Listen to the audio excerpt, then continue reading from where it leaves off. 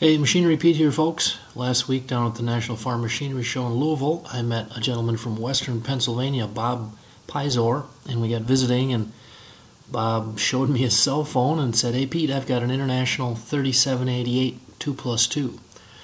And of course, uh, these tractors are very interesting. These 2 plus 2s kind of sort of fell out of favor there for quite a few years, but uh, last few years, boy, a lot of collector int- interest in them.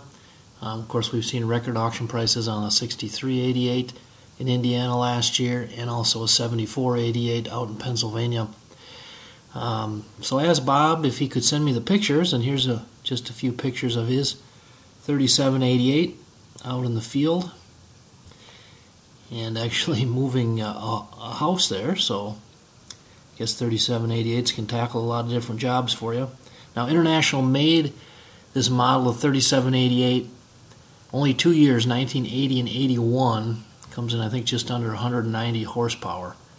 Um, and Bob did send me a couple clips of his 3788 out in the field. So let's go to that video now.